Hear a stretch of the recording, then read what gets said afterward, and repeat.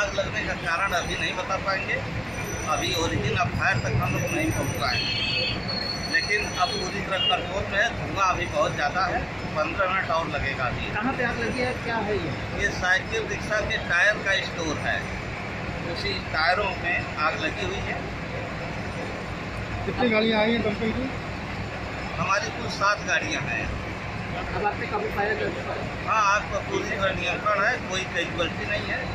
नुकसान और क्षति जो भी है उसका आकलन बाद में किया जाए।